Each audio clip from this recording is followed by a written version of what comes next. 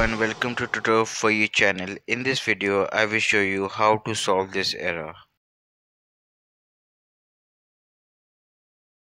To fix this problem you need to first uninstall Roblox from your control panel and then reinstall it back from this website. I will provide the link in the description.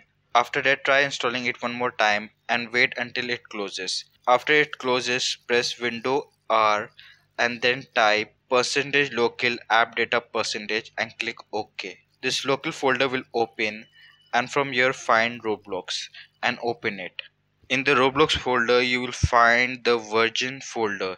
Click to open it and in here you may find single or many version folders with various numbers. Just select the latest folder and open it.